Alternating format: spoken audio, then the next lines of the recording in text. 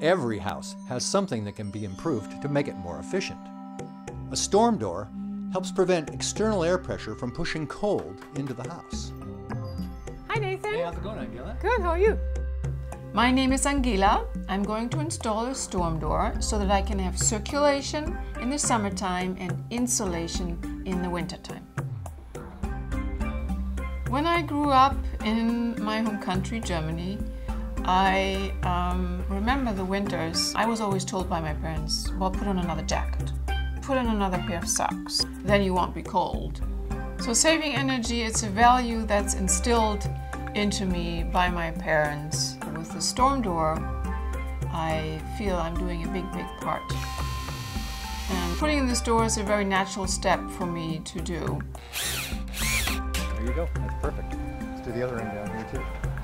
I'm a clothing and accessory designer and I have a home studio in my house. So I have customers come to my house and I wanted to be able to open the front door and let some light in and also let a breeze through in the summertime. Cool. As well as much better um, insulation in the wintertime. So here's a little trick. I don't like to chase the screws around, so I like to just leave the bag closed and push through the screws that I need and pull them out. Sometimes, there we go.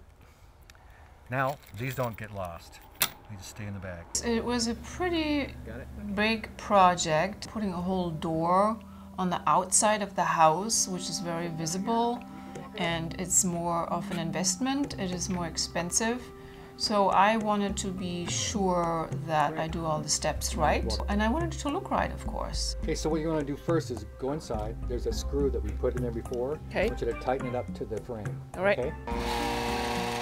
Nathan came over and he is very knowledgeable and he explained to me all the different parts of the storm door. He showed me how to use the power tools and then we got right to work. You don't want to over cinch it here. You're going to bend the metal, but you're good. Oh, okay. You're good. It's all right. We marked and mounted the hinge first to the door and then to the wooden door frame. Good job. We're going to go ahead and put it in a position. Then we marked and mounted the top Pre-drill at these marks. and the other side. Good luck. Thank you.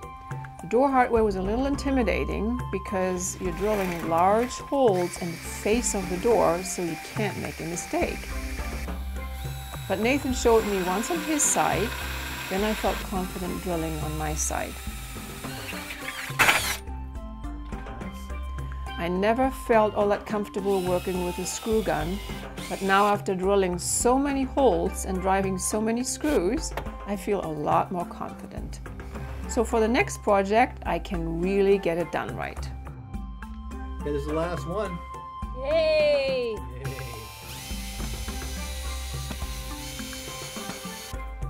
Door looks great. It, I love it. It looks really great.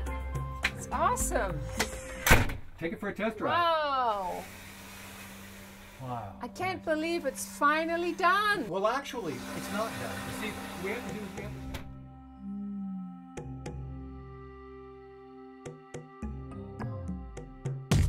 Mm-hmm.